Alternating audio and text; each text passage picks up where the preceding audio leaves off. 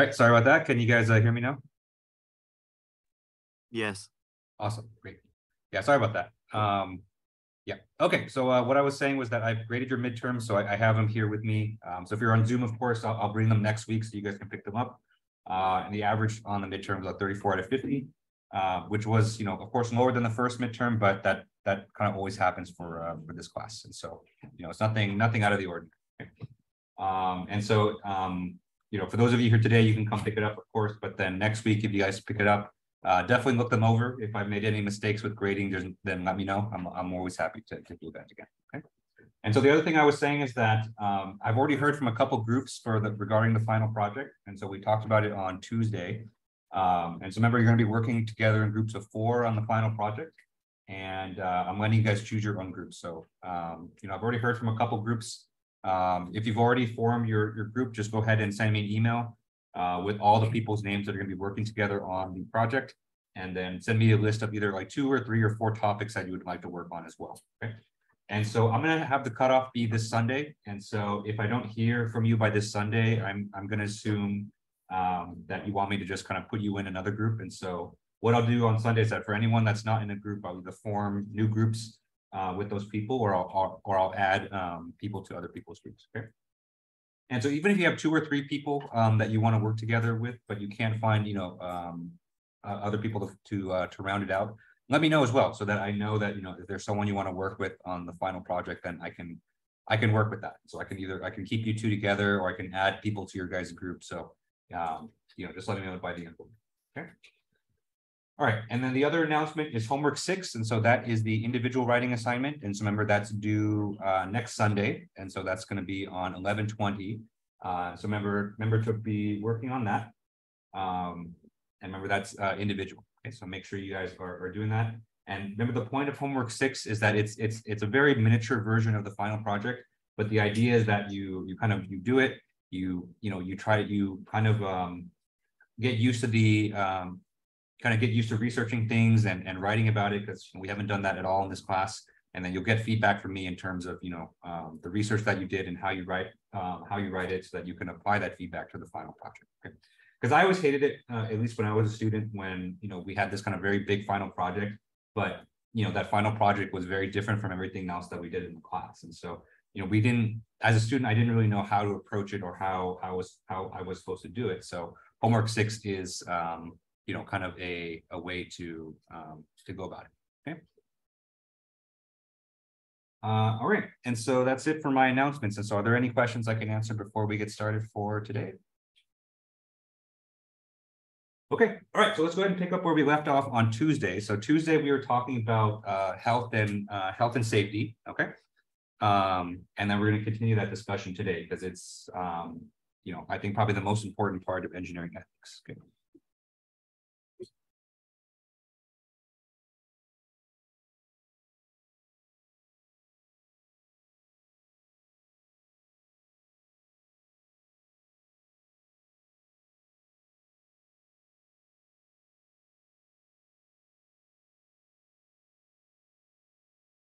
Okay.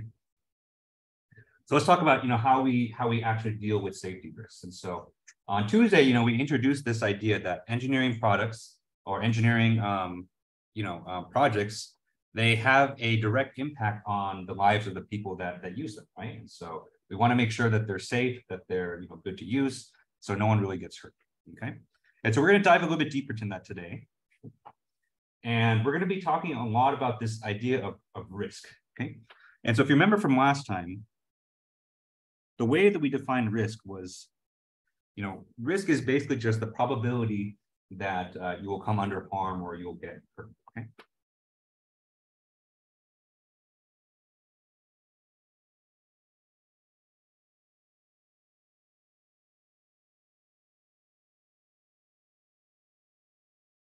Okay.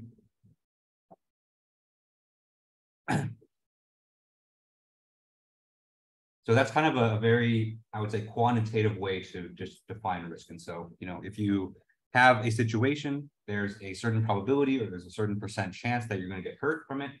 Um, and that's how we define risk. Okay. But what we'll see today is that depending on who you talk to, everyone kind of has their own definition of risk. And it's very situation specific too. So what, what may seem risky to some people may not be risky to other people. And how one person defines risk in a certain situation may be different compared to, you know, how they define risk in another situation. So we're going to dive, we're going to, we're going to dive a bit deeper into this today. And we're going to be talking a lot about this idea of acceptable risk. Okay.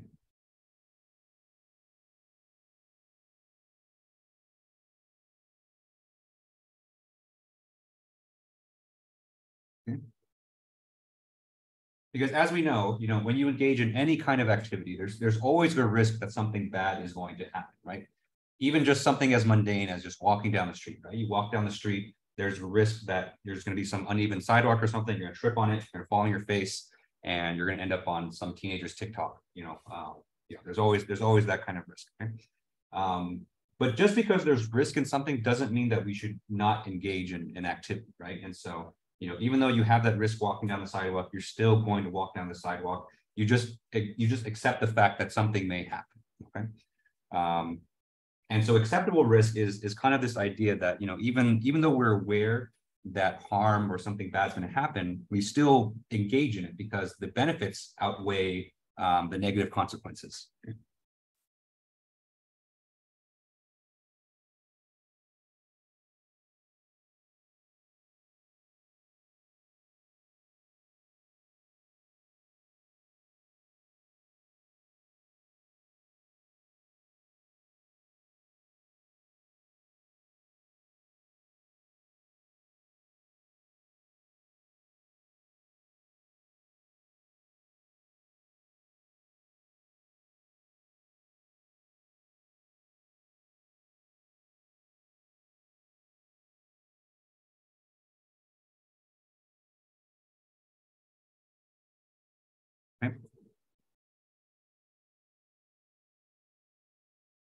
And so whether or not we determine a risk is acceptable or not, you know, it depends a lot on our perspective.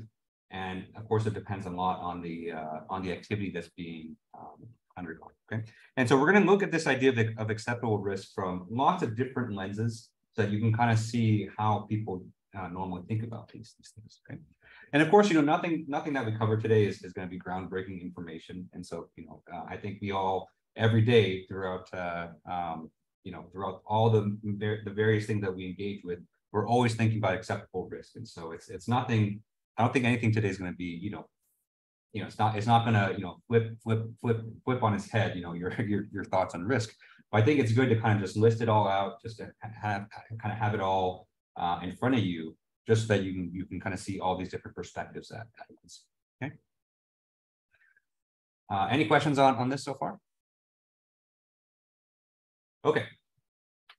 So let's uh, let's let's think about this from a utilitarian perspective first.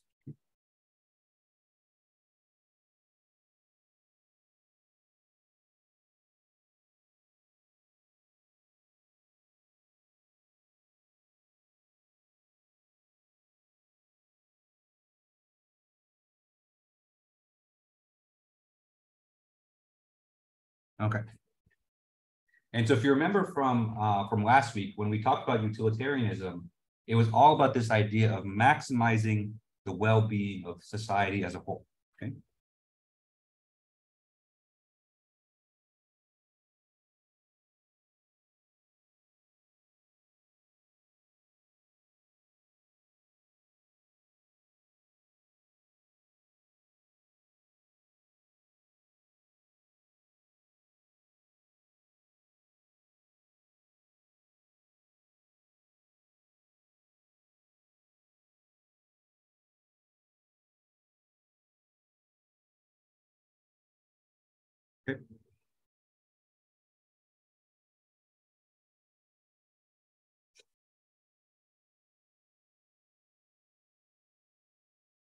And so we can take this, we can kind of take this, um, this lens right here and use it to deem whether a risk is acceptable or not, okay?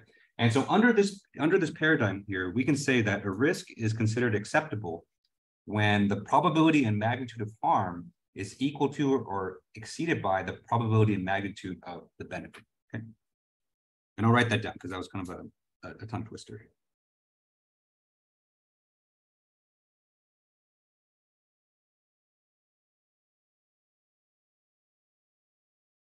So we, and so you, you kind of form this, uh, this almost like mathematical relationship. And so what you say is that you take the probability of harm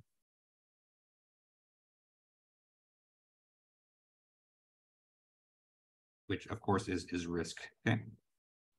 And then you multiply that by the magnitude of the harm.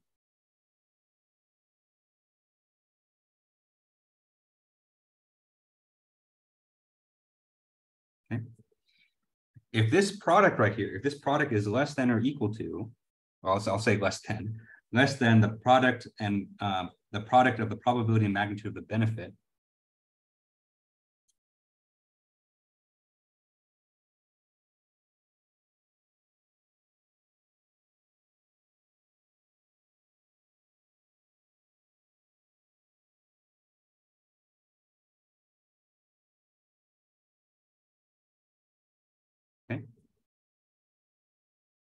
And so if you kind of form this, this kind of almost pseudo mathematical relationship here, and if this, if this holds true, then, um, you know, the risk is acceptable, okay?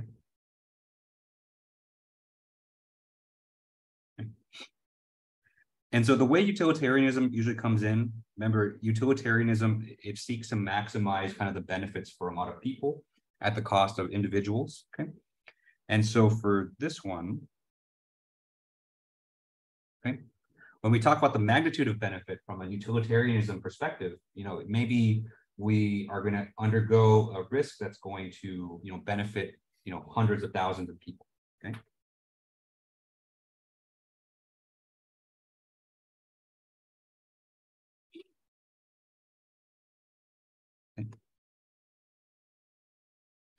Versus on the on the risk side, you know, maybe the people that are harmed is going to be very, very few.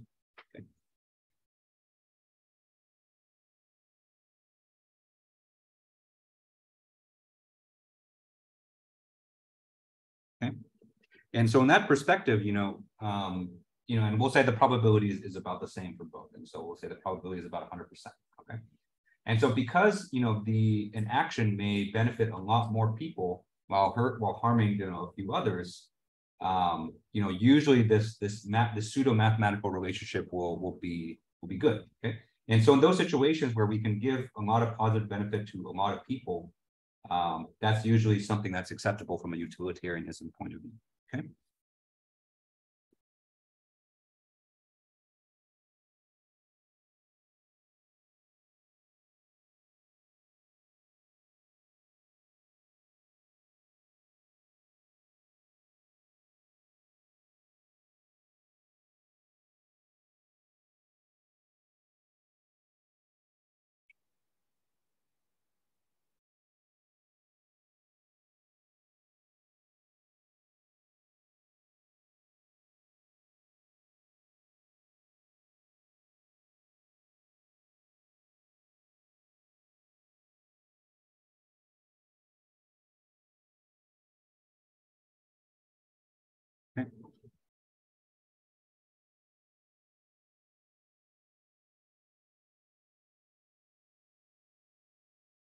All right, so that's and so that's generally kind of the uh, the train of thought, or that's generally the logic that uh, that's followed if you you know are following utilitarianism. Okay, but of course, as as we talked about before, utilitarianism has it's it's quite a flawed way of thinking. So you know, I think it can be applied to to some things, of course, but it can't be applied to um, a lot of different things. Okay, kind of the the most notable flaw with this that I would say is that you know we you're you're kind of forcing yourself to put numbers on on on on all these things and use an equation like this. Okay.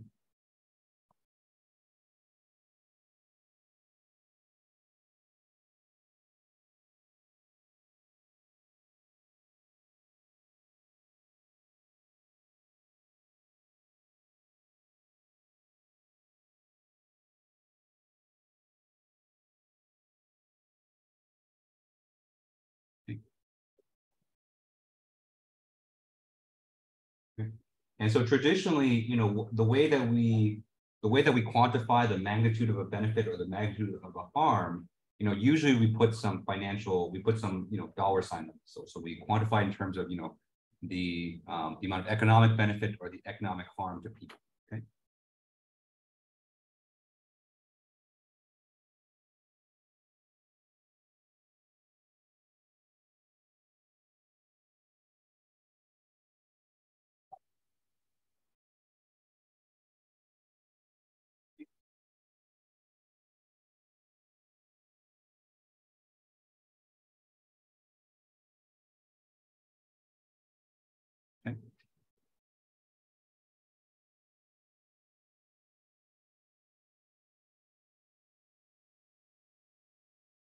And that can work in, in some cases, but then, um, you know, there are a lot of cases that it doesn't work as well. And so, you know, just, just kind of just very plainly, you know, how do you quantify economically the, the cost of a harm, right? You may be able to quantify in terms of, you know, maybe the cost of the doctor visit or maybe the cost of like a, a medical procedure that you may have to uh, undergo if you, if you receive a harm. Um, but that, but you know, uh, if, if that's not, that's never the whole cost, right? Because if you do, if you are harmed to a certain extent where you have to go to the hospital, get an operation, there's also the lost uh, time that you're going to have uh, from your job, right? And so that's time that you're not working.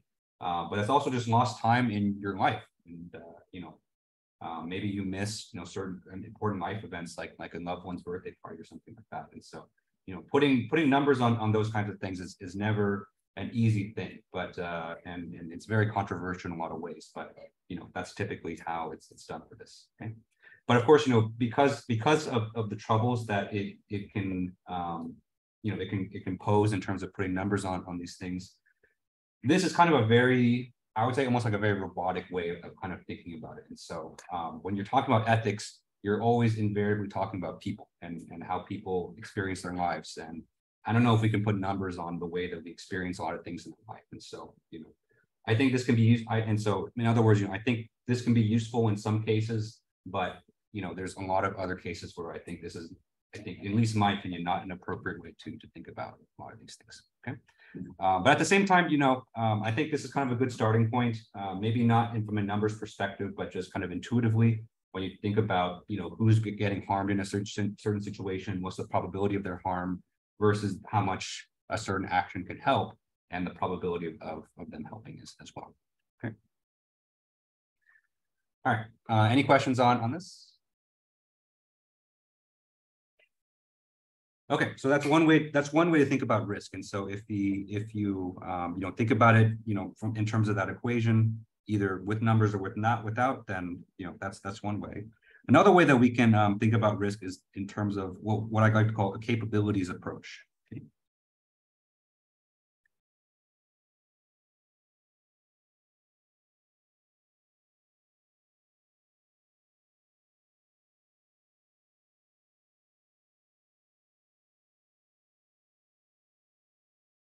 Okay.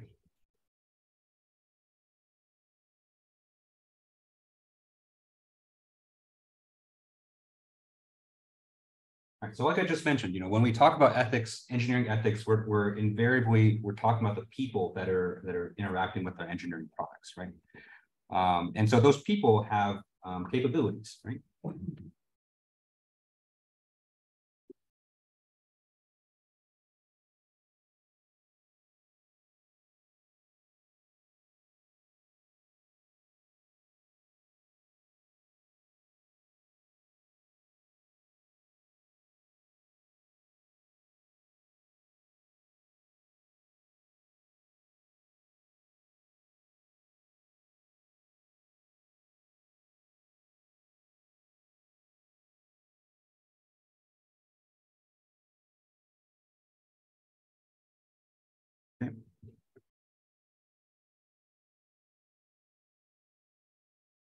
And by capabilities, what I mean is the is the ability for these individuals to live the kind of life that they have reason to value. Okay.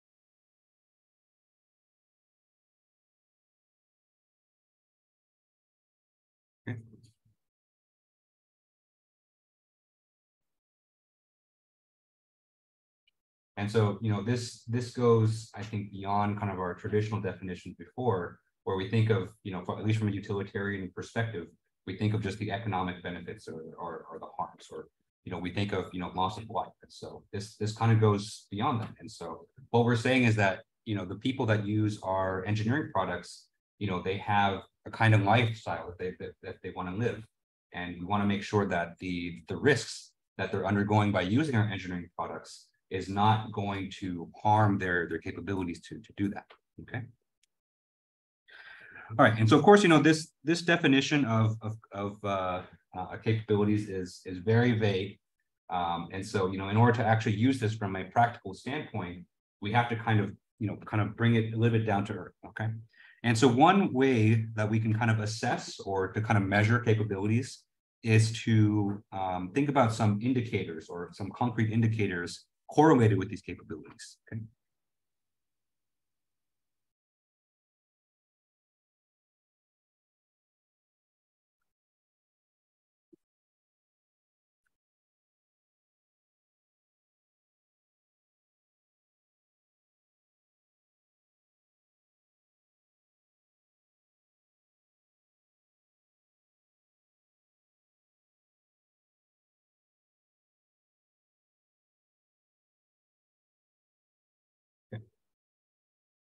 And so as an example,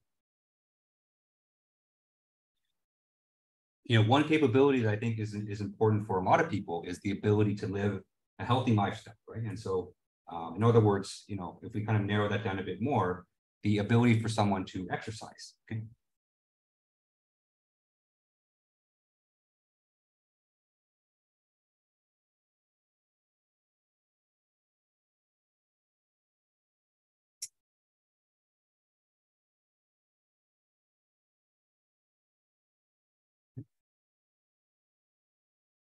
And so, of course, you know, the capability of, of someone to exercise depends very much on the individual, right? Um, I can speak for myself where I definitely have the capability to exercise. I just choose not to because I'm lazy. But we can, uh, but we can come up with some other indicators that, uh, um, you know, that we can measure, that we can quantify quantifiably measure to assess someone's ability to exercise. Okay. And so some indicators for this could be things like access uh, to things like safe roads or like a park or a gym. Okay.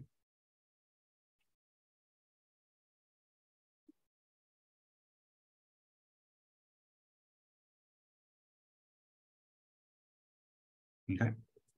Because those are typically the places that people like to exercise. And so, you know, let's say that, you know, we're working on, on a construction uh, project. Okay. So we're, um, you know, servicing the roads or something like that. And so we want to make sure that the, um, that the project or how we, how we view the construction, how we do the construction is not going to dramatically impact people's access to the parks and the roads. It's hard to see the word next to indicators. Um, it's, it's that,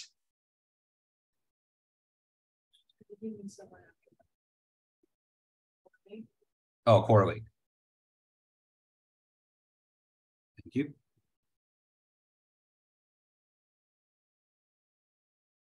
Yeah, it's a correlate. Mm -hmm. Yeah. All right, and so if we if we're under if we're undertaking a, an engineering project that will impede that, and so you know maybe people we're, we're not going to be able to take like a direct route to a park or a gym. That's something that has to be taken into account. Okay. All right, and so and so under this approach, under this capabilities approach, we can come up with another definition for acceptable risk.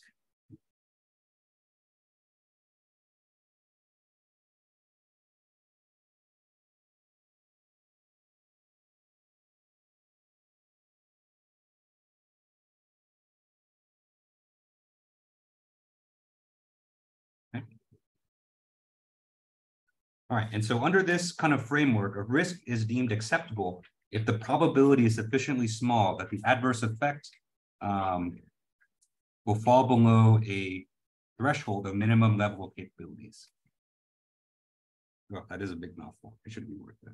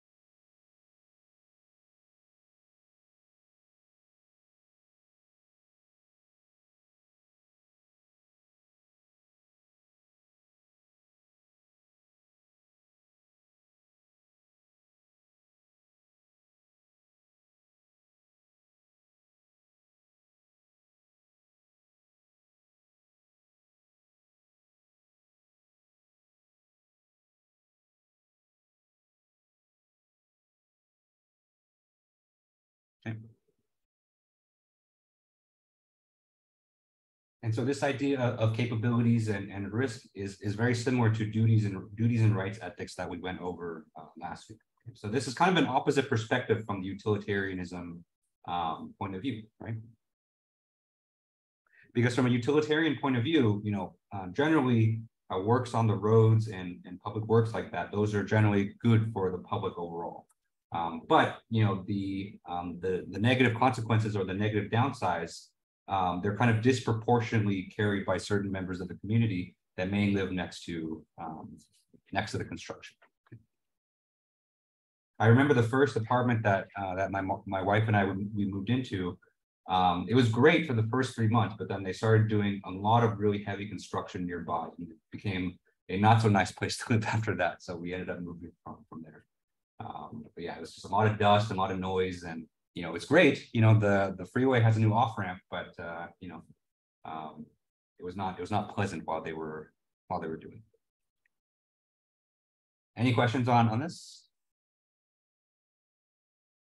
Okay.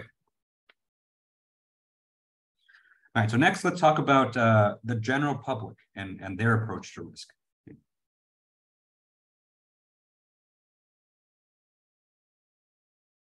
Or I should say their their perception of risk.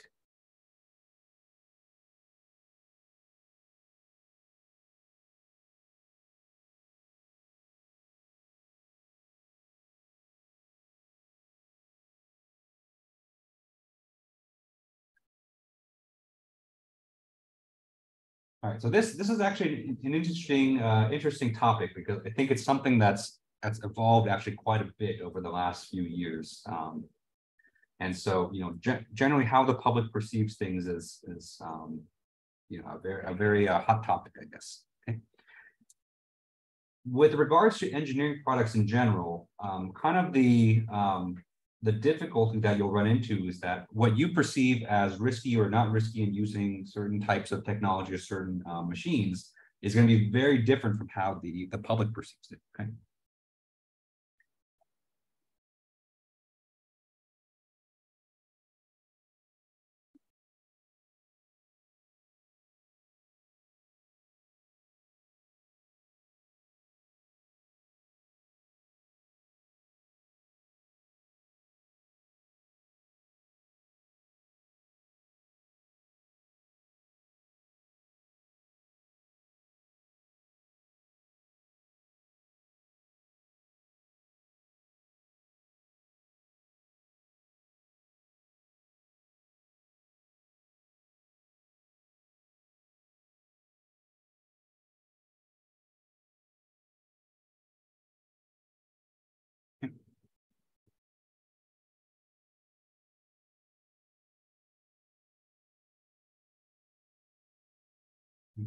And, and the reason for this is, is, is quite simple because, you know, um, if you if you work in an engineering job, you know, you more than likely got an engineering degree. And so you have a lot higher technical knowledge than uh, than most of the general public. Okay.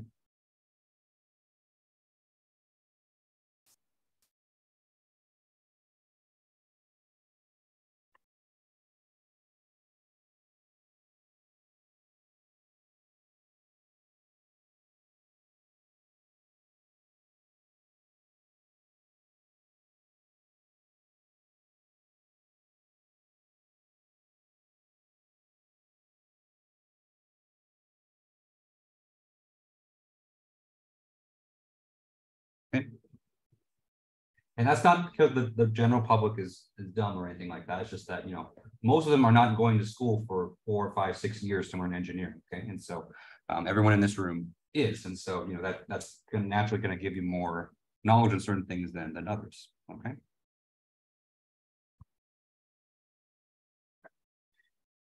And so kind of finding a middle ground. And so, um, you know, finding a way to um, kind of have that conversation to, you know, to communicate what things are risky and what's not from an engineering perspective is, is something that's really important, especially if you're trying to get people to, to, to buy your product or use your product, okay? Um, you know, but I think nowadays it's getting more and more difficult.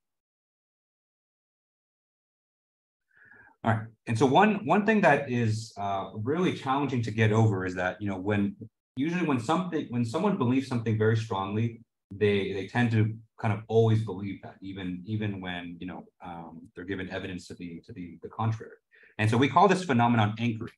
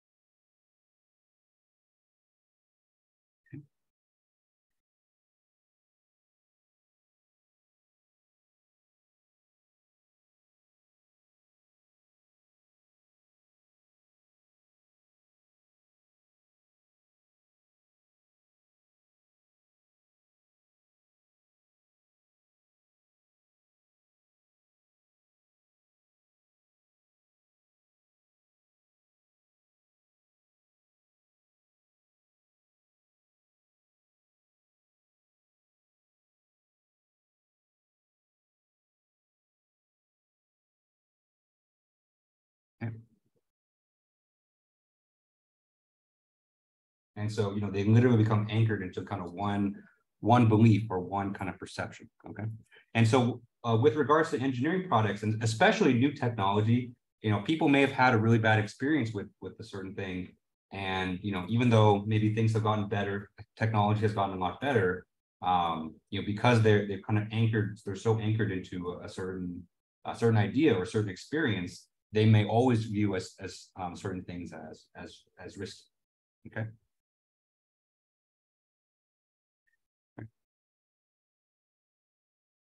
So, you know, one one example of this is, uh, um, you know, happens happened in my personal life, and it was actually it was it was kind of a, a big issue for a really long time, where my father-in-law, um, you know, didn't let my wife uh, drive for any distances longer than five miles, and so it was uh, he was kind of anchored into this belief, and and it's and it's kind of based on his own culture and and uh, and what he believes in too, where you know it's it's very dangerous for uh, for women to drive, but you know I even though even though you know his daughter would drive to LA all the time, she would come back safe and sound. She would drive to my place. You know, if, if he was there, he would not let her drive. And so um, I would always have to go pick her up. And you know, and part of that is, you know, he wants he wants he wants the the boy to come and pick up the girl and stuff like that too. But you know, it was very, very difficult to get him to kind of get out of that that way of thinking. He said, you know, cars are very safe now.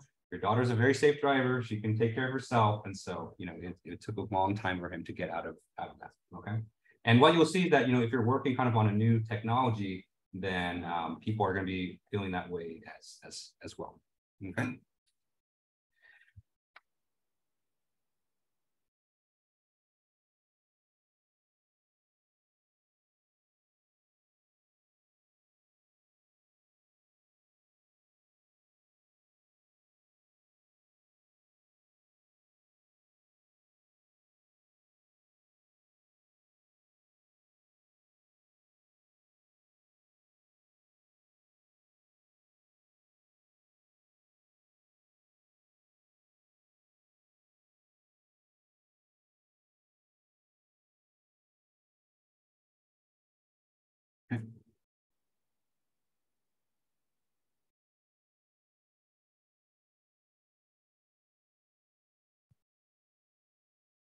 Okay, so kind of kind of be prepared, kind of be prepared, uh, prepared for that. Okay. So actually, one good example I, I can uh, think about this in, in, in the engineering space. Um, you know, there is a company um, that's that's based up in in NorCal. Um, they're called HeartFlow, and so what they do is that they use engineering technology to um, basically help doctors predict and assess cardiovascular disease. And so, um, if you have if you have any kind of cardiovascular disease, you know something wrong with your heart or your blood vessels, uh, traditionally, what's what's done is that the doctors have to go in and um, you know perform a medical scan, or they may have to open you up to kind of see what's what's going on. Okay, uh, and that can be very time consuming and very expensive and very kind of traumatic for, for the for the patient. Okay, and so what HeartFlow is doing is that you know what they said is that we can we can use engineering technology, we can use um, computational fluid dynamic simulations, and we can predict you know without without the patient having to go through an invasive surgery how bad a disease is and whether or not you know we need to operate on on this patient to um, and fix it. Okay, And so it's great. And so they, they have great results. And so they have FDA approval. They've done multiple clinical trials that show kind of the, the effectiveness of, of their technology.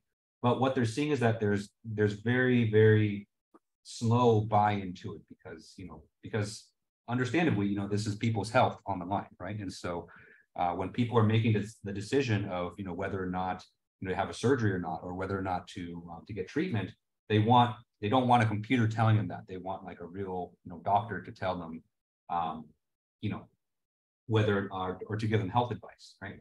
And that's because you know we are so or we're just so used to we're just so used to uh, that kind of way of thinking. But you know, even though the technology is great, it works really great. I think it's still going to be an uphill battle from here on just to get people to kind of buy into that because it's you know it's it is um, kind of a, a, different a different thing. And so you know it's it's always going to be challenging. Any anytime you have a new technology to get people to buy in, just because they're so anchored in in how they do stuff. Okay. All right. So what can we do to fix this? Because you know if if that's if if it's always going to be like that, it's it's always going to be incredibly difficult for any kind of new technology or new engineering to make a positive impact. Okay. Well, there's there's some things that we can do that we we talked about last time. And so one way is that we can um, get obtain free and informed consent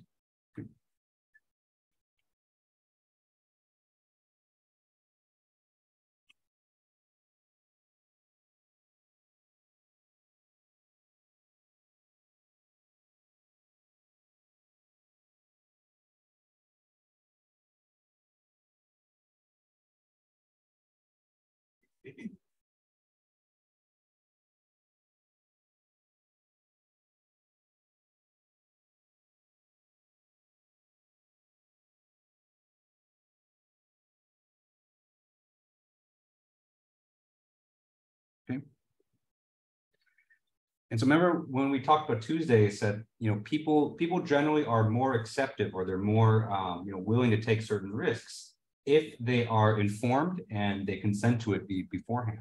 Okay. And so um, you know, getting information out in kind of a, a, way that's easily digestible, that people can really understand, you know, the risk of of of, uh, of using certain technologies or not, you know, that's that's going to be the key.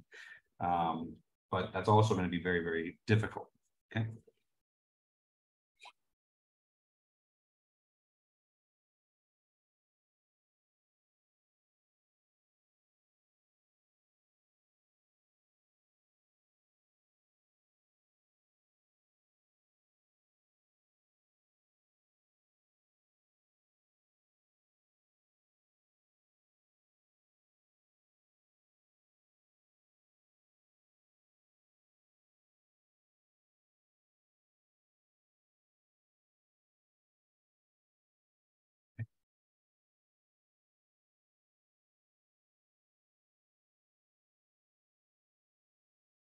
And so based uh, and so based on this perspective here, you know, based on you know how the public um, views risks, we can come up with another definition of, of an acceptable risk.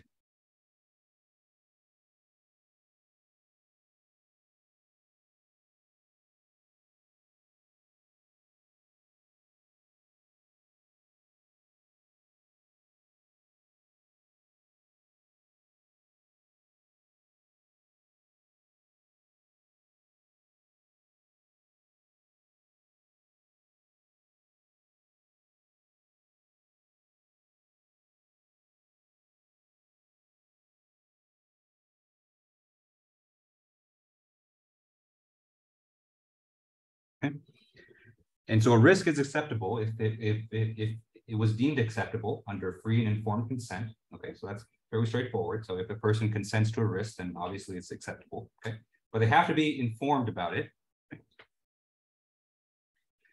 And another uh, another kind of aspect to this is that you know when you're talking about the general public, you want to make sure that the the people that are um, kind of undergoing the risk or, or, or assuming the risk are also going to be one, the ones that benefit as well. Okay.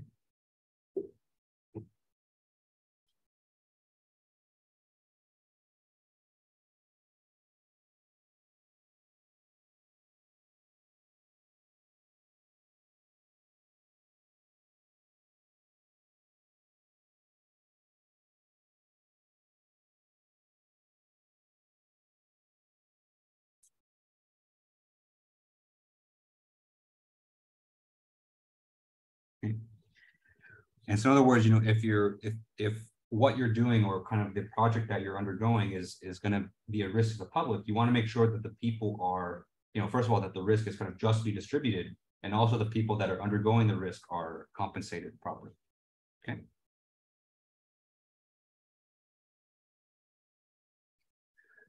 All right, uh, any questions on, on this?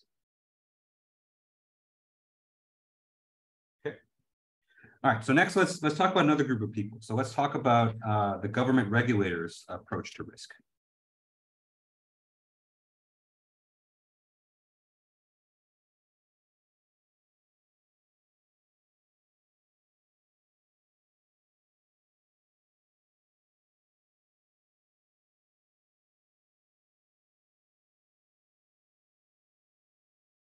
Okay.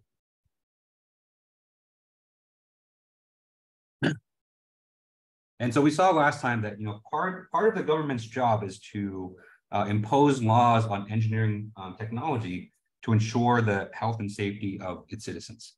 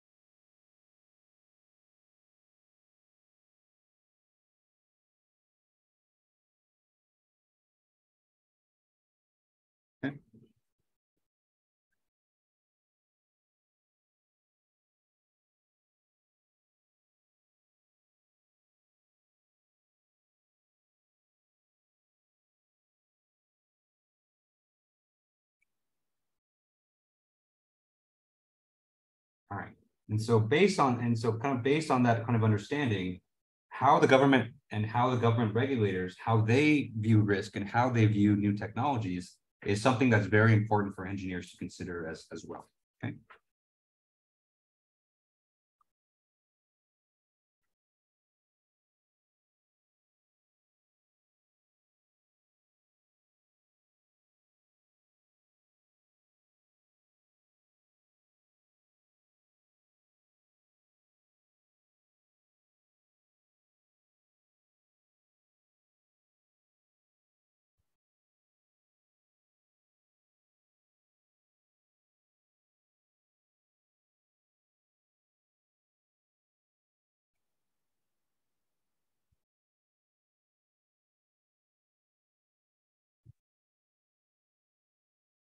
And so when you're when you're in that position, so when, when you're in position of a, of a government regulator, where you know you can pass laws or you can pass regulations to to either limit or um, limit certain technologies, there's there's kind of generally two, I would say, extreme approaches that you can you can take.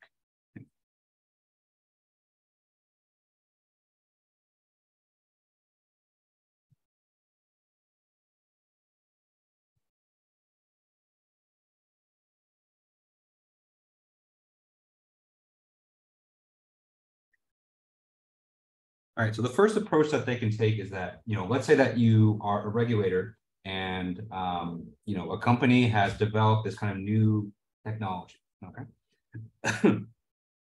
it hasn't really, you know, um, they've, they've done, they've kind of done their due diligence, they, they've done their testing, but it hasn't really been released to the general public, right? And so one approach that you can take is to say that, you know, let's, let's go ahead and put it out there and let's kind of wait and see uh, what kinds of effects this is going to have on the public.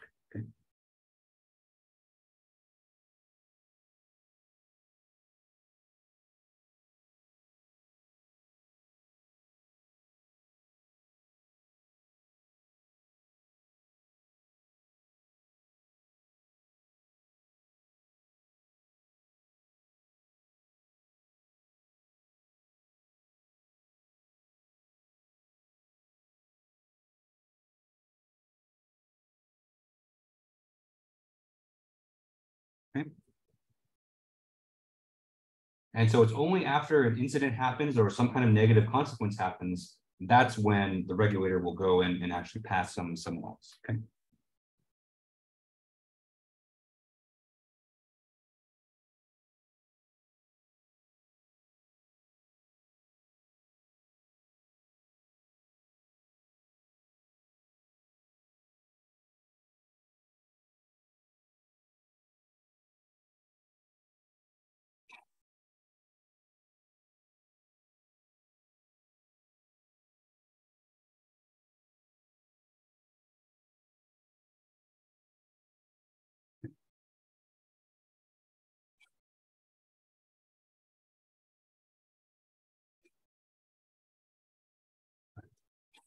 So approach one here is just that, you know, um, let's put it out there, let's see what happens. And if something happens, then we'll, then we'll do something about it, okay?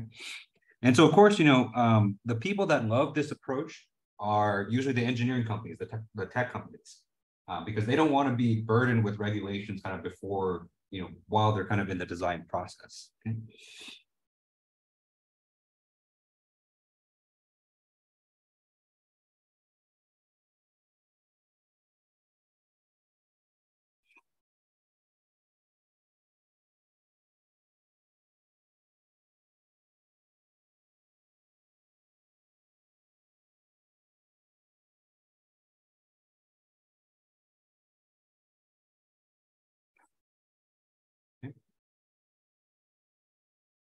Um, but, you know, of course, if you're waiting for something bad to happen first, then that something bad is, um, you know, it's, it's going to happen. And so um, generally what people view is that, you know, this kind of approach, it kind of exposes the public to an unnecessary or large levels of risk um, and consequences. Okay.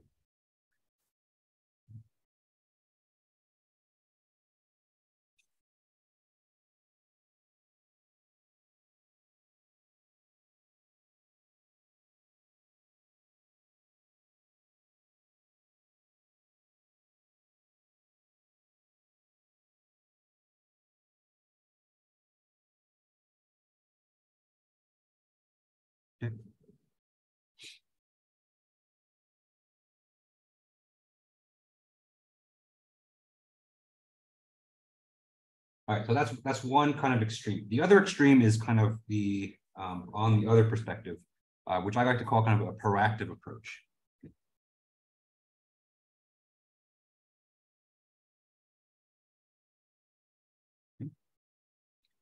And so under the proactive approach, um, what the regulator will do is that they'll go ahead and pass laws to regulate every possible risk that could happen, okay?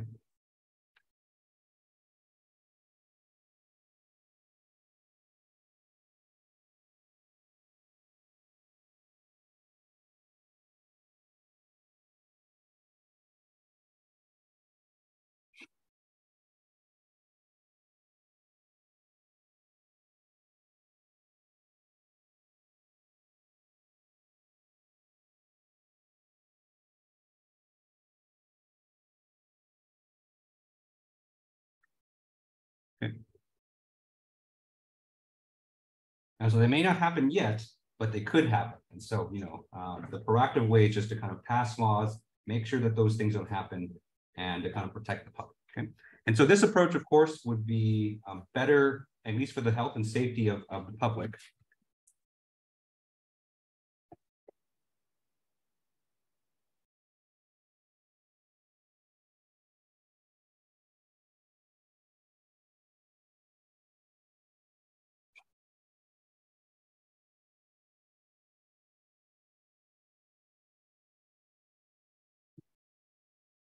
Uh, but generally, this is this is a policy that that companies don't like because then you know those un, those they have to kind of jump through some more hurdles. They have to do some more steps, and in the end, it, it usually harms their bottom line. Okay.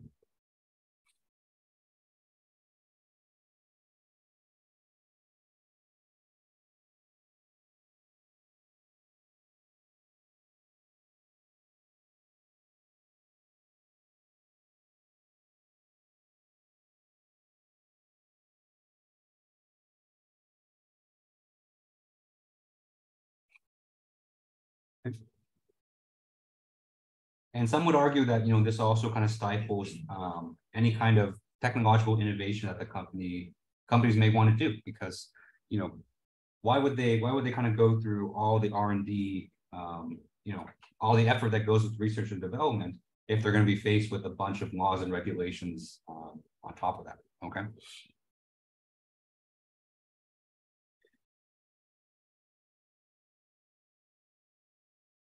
All right. So these are kind of the two, I would say, extreme circumstances. So you can you can almost think of them as kind of two ends of the, of the spectrum. Okay. Um, and so of course reality is, is usually somewhere in between. So you know there's um, there there's not completely hands off from the government, but they're also not going to you know overly regulate something that you know they may not fully understand. Okay. So usually usually it's kind of somewhere in between where you know they'll maybe they'll regulate some things that have kind of shown a certain level of risk but they'll let the company do some other stuff, um, you know, other than that. Okay. But generally speaking, if you're talking about just a, a, a completely new technology, the government regulators will usually err on the second perspective. Okay.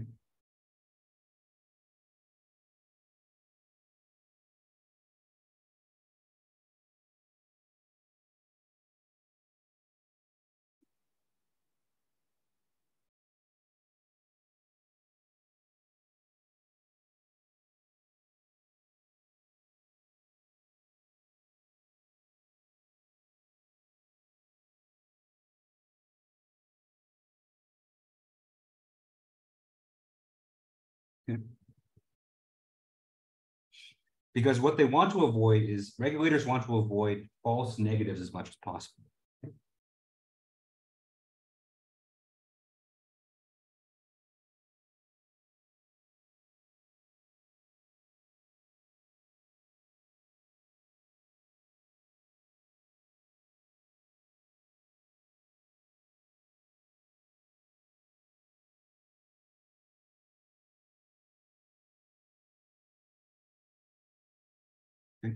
And by false negative, you know, under this context, the false negative would be something that was initially deemed safe, um, but in the end was was actually not, and it actually causes um, you know a lot of incidents for, for people.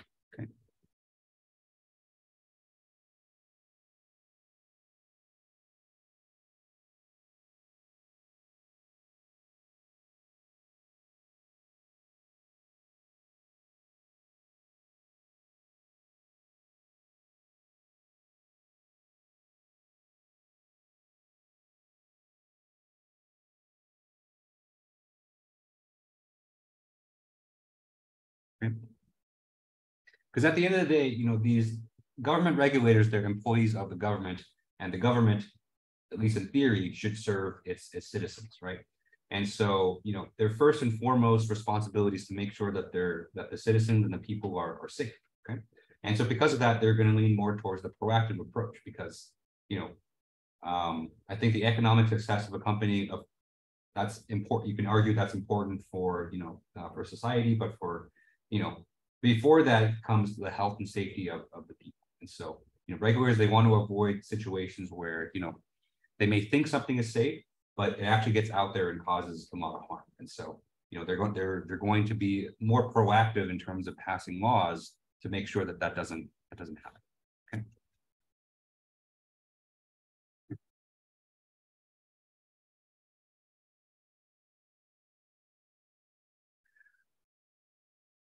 Right, any questions on, on any of this? Okay, and so with that, all that in mind, you know, we can come up with yet another definition for acceptable risk.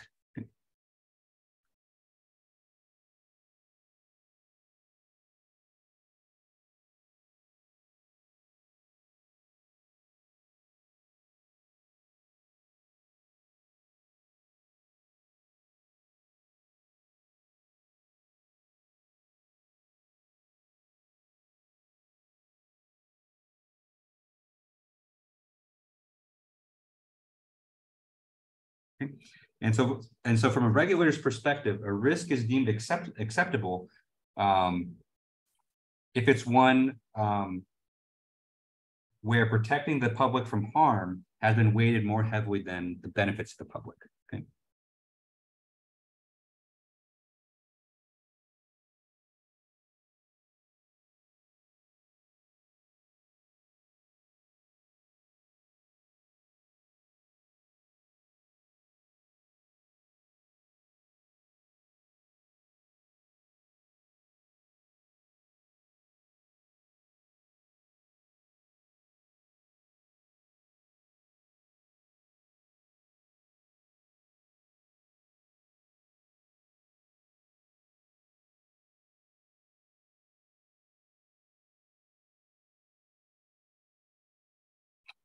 Okay.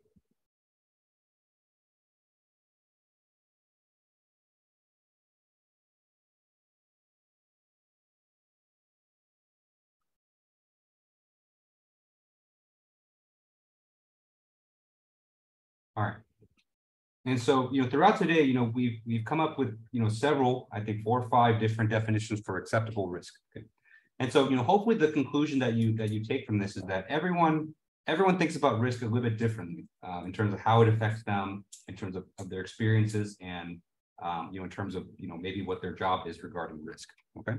And so, you know, the way the way that you view risk as an engineer, you know, is is going to be different compared to all these different um, places. And so, if you're working on a technology that's going to be that's going to be involving, you know, all these different groups of people, then you want to make sure that you kind of take those perspectives into account and make sure you're ready to kind of address those as you're kind of ready to present your engineering work to to the public. Okay. Okay, and so now that we've uh, you know talked about acceptable risk, let's talk about how we um, how we actually deal with you know determining the causes and then likelihood of, of harm.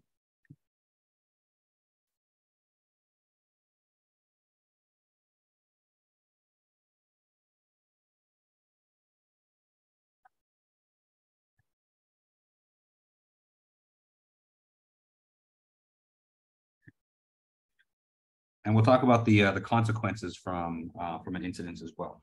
Okay.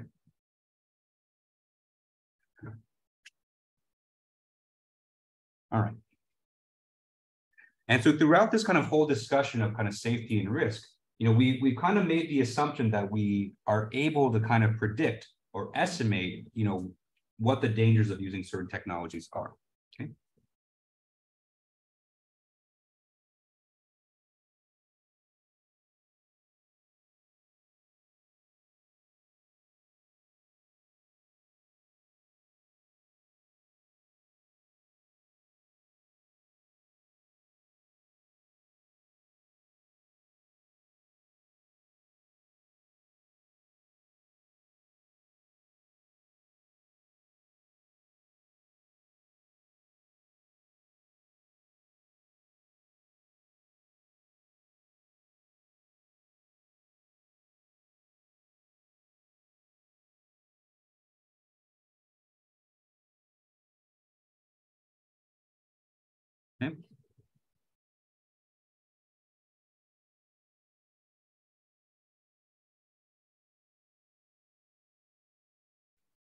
And so generally speaking, the more accurate your predictions or the more accurate your estimates, um, you know, the better we can we can build safeguards against them.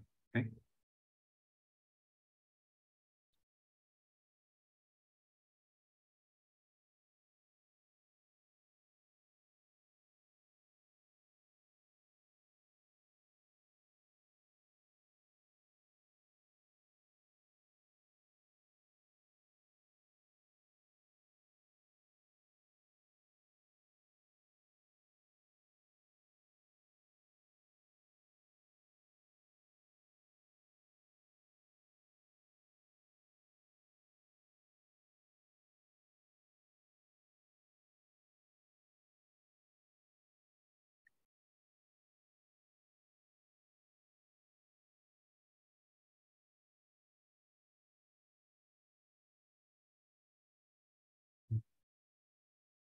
And so if we can have kind of perfect prediction of, of what's going to happen, then you know we can we can better prevent those, right? And so that and that in the end going to help lower or eliminate the, um, certain risks. Okay.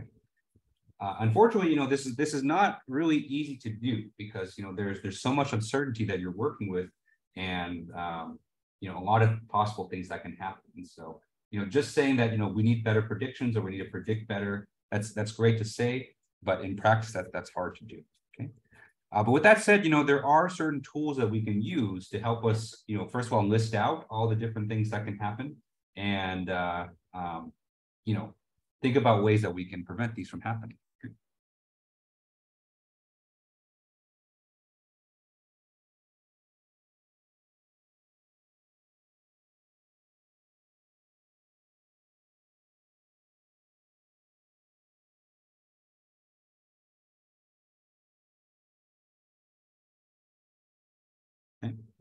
And so one such tool is uh, something called a fault tree.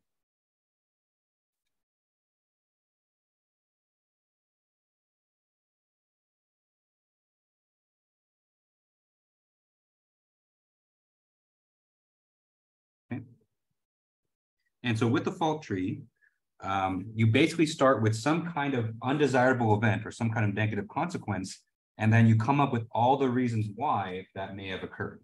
Okay?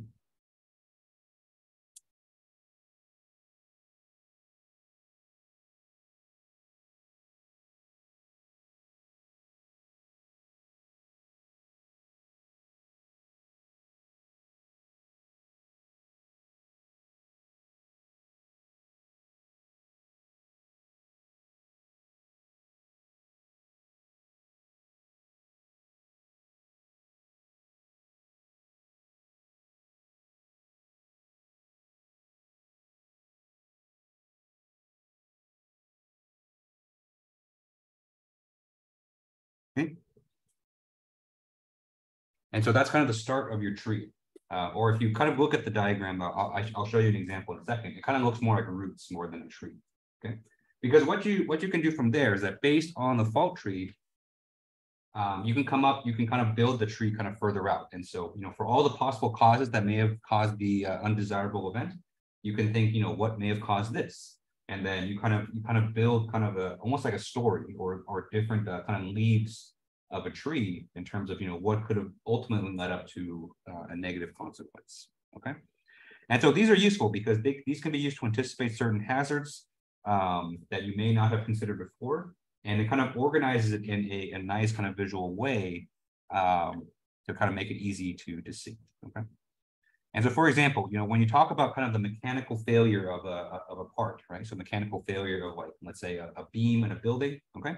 There are multiple different ways that the beam can fail. And so it can rip apart in tension, it can uh, crumble apart in compression, it can crack or it can bend in bending, it can lose integrity due to corrosion. So there's there's kind of lots of lots of different things. Okay. And so I have an example for this. And so um, let me go ahead and uh, switch it over. It's, it's really hard to see otherwise.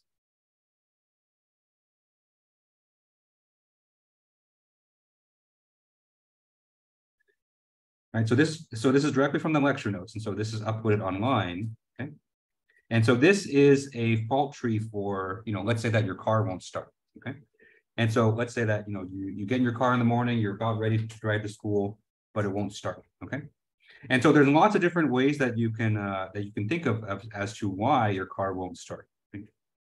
And so maybe your battery's dead, right? And so maybe, you know, you just don't have any more battery maybe the the starting system was defective and so you know maybe there's something there's some issue with that in your engine. Maybe there's an issue with the fuel system. Maybe there's an issue with the ignition. Maybe some other um, problems with your engine. Maybe you, you are the, the subject of a teenage uh, tiktok video where they stole something from your engine okay and everything else and so what you can do from here, so those are kind of all the pri I would consider kind of the primary reasons for you know why a car won't start. Okay. And then from there you can kind of you know build it further. And so, you know, let's say your battery's dead. And so what are the possible reasons that your battery's dead? And so maybe you have faulty ground connections, maybe the terminals are loose or corroded, uh, maybe the battery's weak, okay? Uh, or maybe you're like me, and I've, I've done this, you know, way too many times in my life that I'm proud of. You know, maybe you left the lights on. Um, you know, uh, while you were out to dinner or something. Okay. Uh, maybe there's bad weather. So, you know, you can kind of, you can kind of keep building and building this tree until, you know, maybe you arrive at the, um, at the real reason why the car won't start. Okay. And in the meantime, you know, you kind of build up everything else where you kind of safeguard against all these other things uh, as well. Okay. And so a fault tree is, is useful, you know, not just in engineering, but it can be useful for, um, you know, for just a lot of other things in life as well.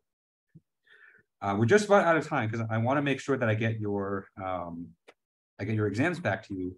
But another thing I want to show you is something called an event tree. Okay, so event tree is kind of the opposite. And so event tree is, is something like this. And so where a fault tree is, is uh, you know, you're kind of looking in the past in terms of, you know, what may have caused a negative event. An event tree will kind of detail everything that goes beyond that.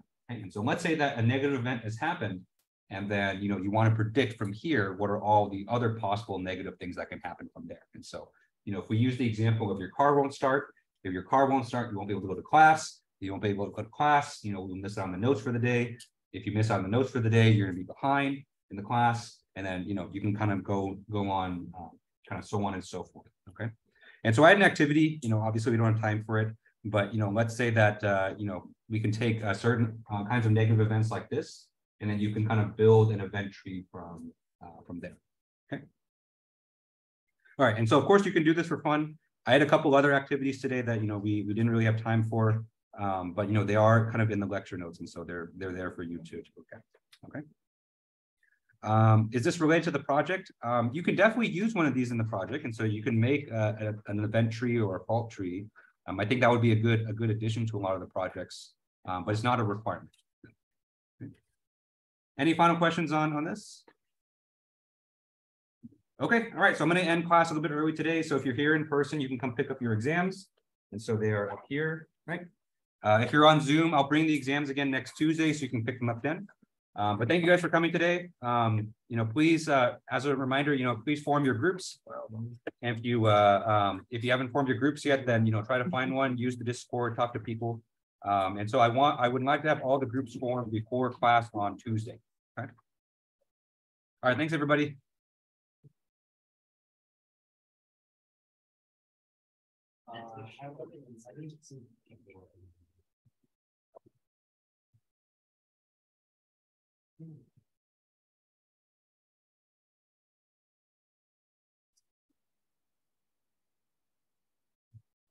Yeah. Yes, I did. I did. I haven't, I haven't graded any of the homework. yet, So I wanted to get grade these first, Oh, you but yeah, yeah, I, I, I'll remember to. I got this. Yeah.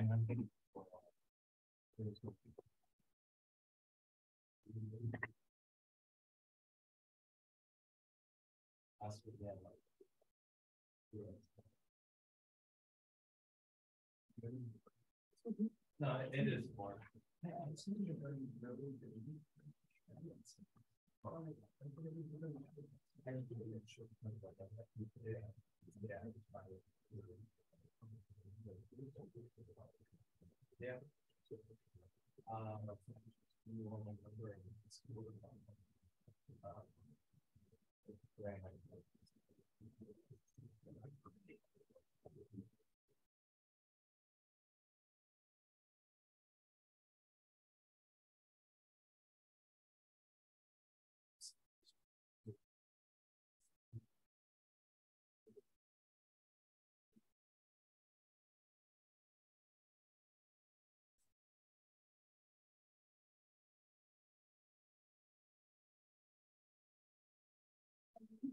Any, any final questions?